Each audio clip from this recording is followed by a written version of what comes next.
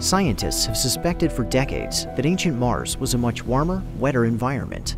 But estimates of just how much water Mars has lost over its 4.5 billion year history vary widely.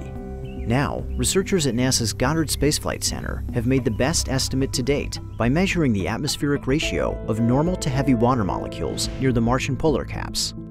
The new measurements suggest that at least 20% of the Martian surface was once covered by water, contained in an ocean with a maximum depth of about one mile.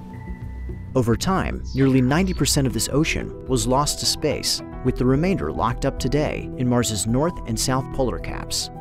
This new picture of early Mars is considerably wetter than many previous isotopic estimates and suggests that water persisted on the Martian surface for billions of years, raising the odds for the ancient habitability of the red planet.